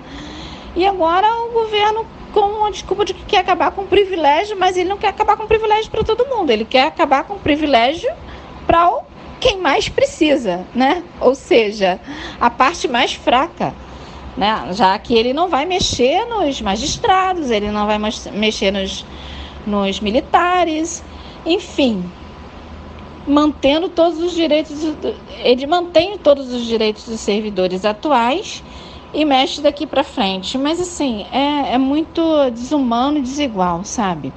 Eu acho que esse governo, ele, ele olha os trabalhadores como um problema, sabe? Não como a solução. Né? Eu sempre digo isso, já disse isso em várias mesas de negociações. Os trabalhadores não são problema, os trabalhadores são solução sabe? Porque um trabalhador, quando ele é bem remunerado, quando ele tem um trabalho digno, quando ele consegue né, conciliar o trabalho dele com a vida familiar, porque ele precisa ter né, o convívio familiar, ele não pode trabalhar 12, 14 horas por dia. Ele investe, ele, na verdade, tudo que ele ganha retorna para a economia de alguma forma. Nós fazemos parte do ciclo econômico, né? As famílias fazem parte do ciclo econômico e os trabalhadores estão nas famílias. Então, esse, esse governo realmente é, se supera a cada momento. E ao invés de discutir, por exemplo, uma reforma tributária, que é fundamental né, para você de reduzir as desigualdades é, que existem hoje, é, não, ele propõe uma reforma administrativa para mexer só com a parcela mais vulnerável do funcionalismo público, isso é um absurdo nós estamos sim, porque a nossa luta, a nossa luta é nas ruas, é no parlamento, é nos locais de trabalho, é nas redes sociais, sabe? E tem vários projetos de lei que são nocivos. Por exemplo, tem vários projetos de lei para acabar com a jornada de seis horas da categoria bancária. E a gente tem o tempo todo que ficar se movimentando, buscando apoio e lutando contra isso. Aliás, eu queria também fazer uma denúncia, aproveitar, viu, Anderson, porque Finalizada as negociações, quer dizer, os bancos estão num processo intenso de, de demissões, né? Os bancos que lucram tanto, é, que fazem tanta propaganda de responsabilidade social, e aí começa um processo de demissão. O Banco Santander demitiu quase 800 trabalhadores, sabe? O Itaú chegou a, a mais de 130 já trabalhadores demitidos, sem nenhuma justificativa, sabe? Isso é tão absurdo porque é tão desumano, né? Você vê pessoas perdendo postos de trabalho e, para nós, responsabilidade social se faz com emprego. Então, eu queria deixar essa denúncia. Adriana Nalesso, muito obrigado mais uma vez por dialogar conosco aqui no Faixa Livre. Eu desejo a você um ótimo dia de trabalho e um forte abraço. Eu que agradeço a oportunidade, Anderson. Para nós é muito importante, né? Você sabe que trabalhador não tem muita voz na grande mídia. E para nós esses espaços são muito ricos e muito importantes. Então eu quero muito agradecer o espaço de estar falando com vocês, dizer que a gente está à disposição e que a gente está aí, a gente vai iniciar uma campanha pelo emprego bancário, sabe? Porque como eu disse anteriormente, né, os bancos estão demitindo. E não são empresas que estão em situações difíceis, diferente de, outra, de outras empresas, indústrias, enfim, que estão passando realmente por dificuldades, os bancos não, eles continuam lucrando, lucrando muito. Então, para nós, responsabilidade social se faz com emprego e nós vamos iniciar uma campanha, uma forte campanha em defesa dos empregos. Eu mais uma vez agradeço, agradeço a todos que nos ouviram. Conversamos aqui com a presidente do Sindicato dos Bancários do município do Rio de Janeiro, Adriana Analesso. Eu rapidamente já cumprimento o médico e vereador pelo PSOL, Paulo Pinheiro. Paulo Pinheiro, bom dia. Bom dia a todos vocês. Mais uma vez é um grande prazer estar no programa de vocês e vamos falar um pouquinho sobre esse desastre que está acontecendo no Brasil, no estado do Rio de Janeiro, no município do Rio de Janeiro. Paulo, muito obrigado pela gentileza de mais uma vez conversar conosco aqui no programa. A coisa anda tão complicada, Paulo, que nós temos dialogado com você quase que de 15 em 15 dias e os escândalos ficam ultrapassados. Nós vimos aí na semana passada mais uma atitude lamentável da Câmara dos Vereadores do Rio de Janeiro, barrando novamente a abertura de um processo de impeachment contra o prefeito Marcelo Crivella, dessa vez por conta dessa suspeita de corrupção na Rio Tour. Eu queria te ouvir primeiro a respeito desse episódio, Paulo. Como é que você observou essa decisão dos parlamentares aqui no município de blindar o chefe do executivo? É muito difícil explicar, é vergonhoso. Eu me sinto realmente muito envergonhado do resultado apresentado pela Câmara Municipal sobre esse assunto. É a quinta vez que tentamos o impeachment do Crivella e sempre a gente leva os, os argumentos corretos, a avaliação correta. A sociedade toda acha isso, todos clamam, não é possível que vocês não consigam tirar esse prefeito.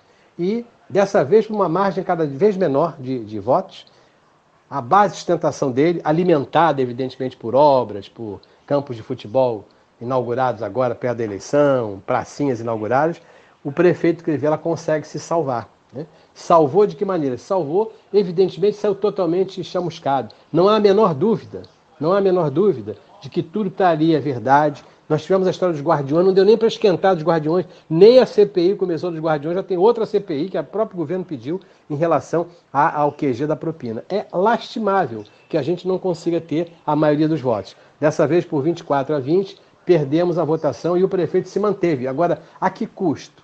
Quanto vai custar para cada um de nós o prefeito ter sido salvo nesse pedido de impeachment? Agora vem o Tribunal Regional Eleitoral e fala a mesma coisa da CPI que eu participei, a CPI da Márcia, onde o relatório final do membro do governo, de um dos pastores do governo, era que não havia nada de errado. E foi feito um relatório em separado mostrando que sim, estava tudo errado conforme o TRE acabou de mostrar. Portanto, esse episódio é mais uma mancha, mais uma mancha na Câmara Municipal do Rio de Janeiro.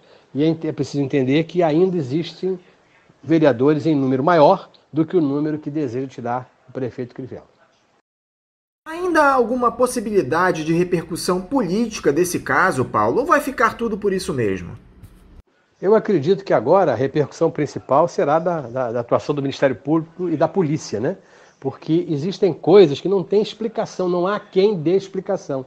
Quando você, eu, eu, esse episódio eu usei no meu discurso no momento que eu fui pedir a cassação do prefeito Crivella. Quando a polícia está na casa do seu do, do, do irmão do presidente da Rio Tour, o telefone toca no meio das roupas, ela estava meio das roupas. O delegado abre o microfone e atende o telefone.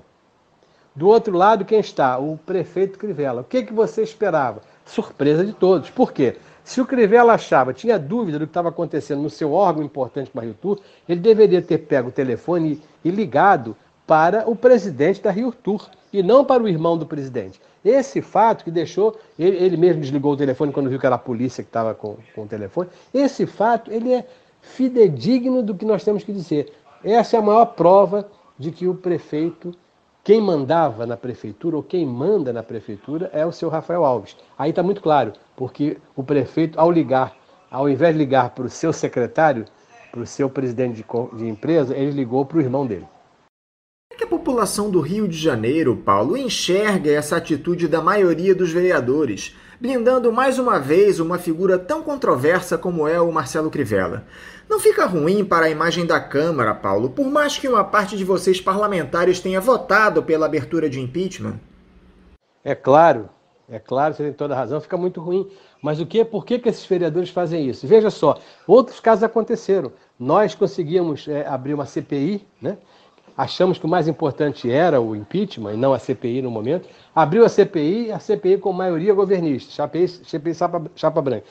Isso para os guardiões, mas não deu tempo, porque o Crivella fez outra, aí veio o QG da propina. Aí eles chegaram ao máximo. Eles resolveram, eles mesmos, pedirem uma CPI, e aí o que, que acontece? Os cinco membros da CPI, quatro serão do governo. Você quer mais chapa branca do que isso? E o que, que esses vereadores têm? Esses vereadores estão dizendo nos locais onde eles têm os seus eleitores que o Crivella é maravilhoso, que a cidade está muito bem.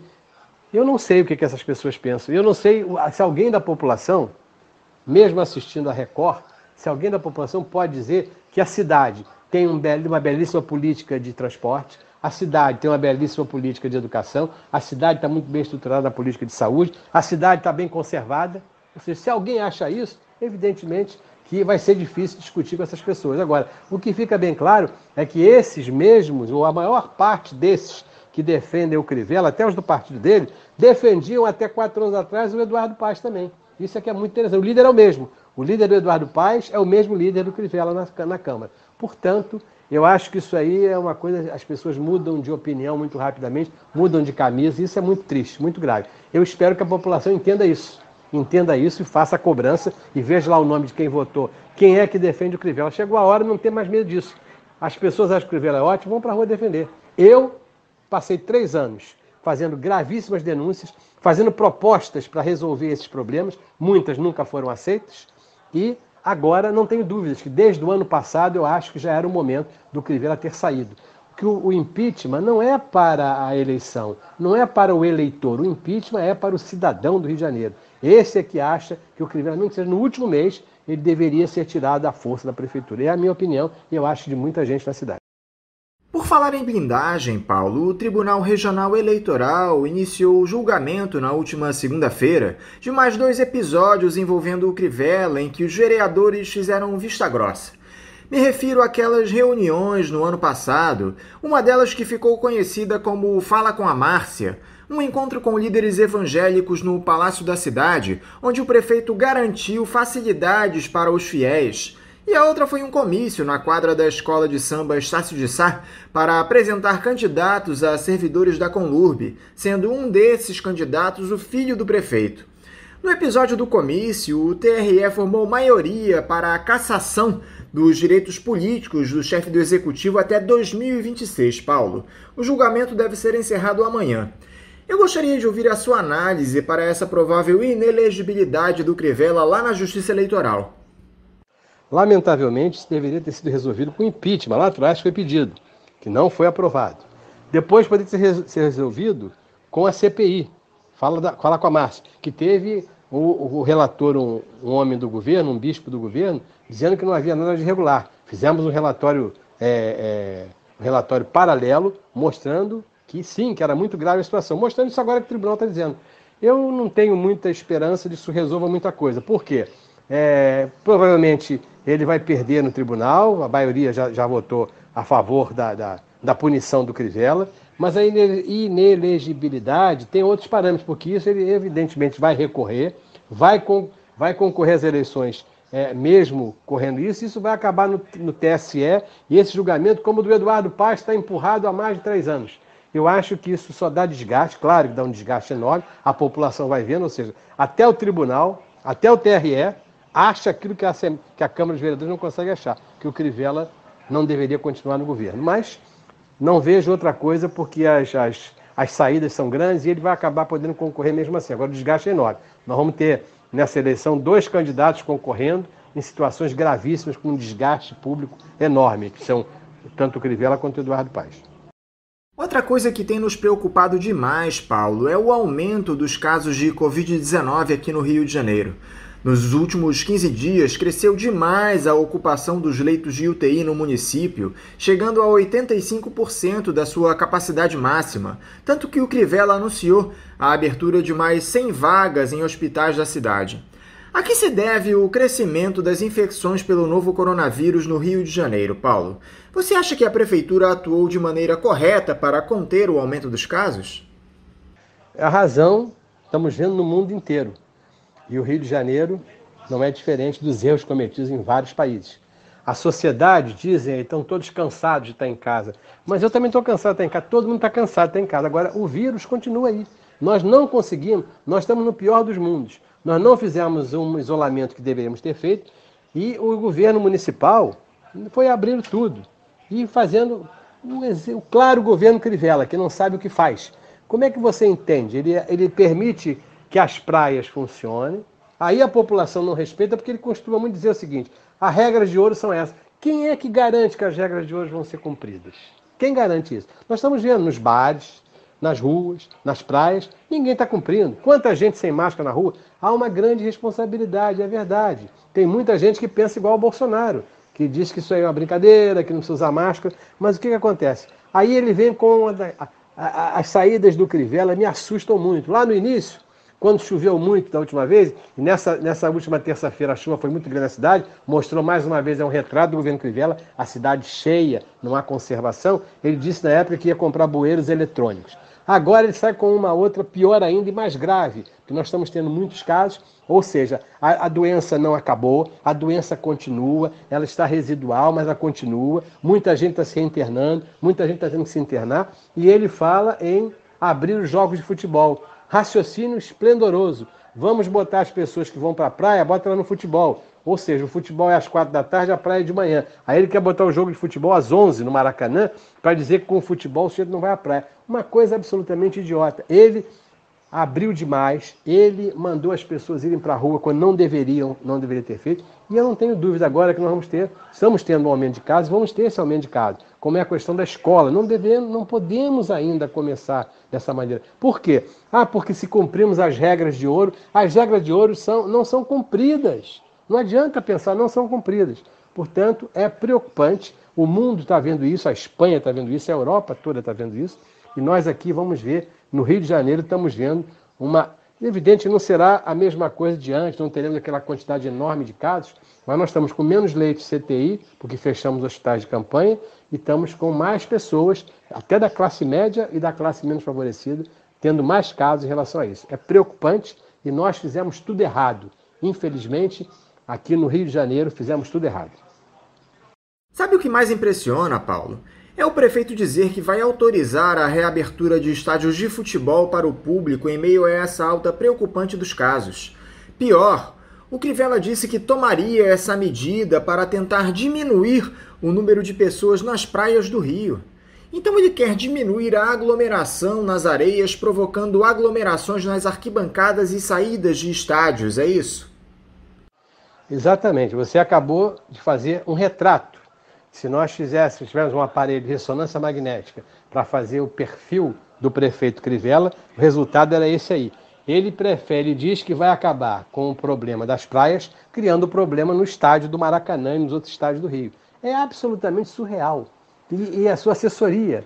Quem é que foi o cidadão inteligente e esperto que descobriu que abrindo o futebol, enchendo de gente o Maracanã, você vai diminuir aquelas pessoas que estão na praia.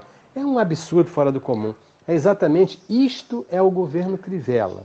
O governo Crivella não deixa legado.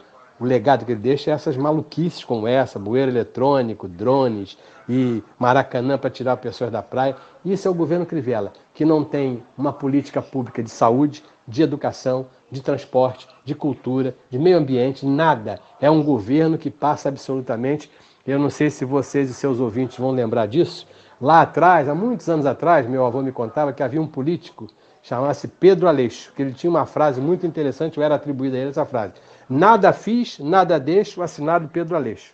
Esse é, eu faria agora essa frase com a assinatura do Crivella. Paulo Pinheiro, mais uma vez, muito obrigado por essa entrevista aqui para nós no Faixa Livre. Eu desejo a você um bom dia de trabalho e um forte abraço. Muito obrigado a todos vocês, aos seus ouvintes, por nos estarem ouvindo mais uma vez. E parece que é a mesma música, mas é a mesma música. Fora Crivella. Nós não podemos continuar no Rio de Janeiro com um prefeito como ele, mesmo faltando dois meses, fora Crivella. Não deixará nenhuma saudade para nós. Eu acho que temos hoje, tenho absoluta certeza de que temos hoje o pior prefeito da cidade. E eu espero que a população entenda bem isso, saiba perfeitamente como é que a gente vai trabalhar uma situação como essa. Ou seja, com Crivella impossível. Conversamos aqui com o médico e vereador pelo PSOL aqui no Rio de Janeiro, Paulo Pinheiro. E vamos encerrando a edição de hoje do Faixa Livre, convidando vocês para amanhã, a partir das 8 da manhã, estarem novamente aqui na Rádio Bandeirantes 1360 AM para mais um programa. Um abraço a todos vocês e até amanhã!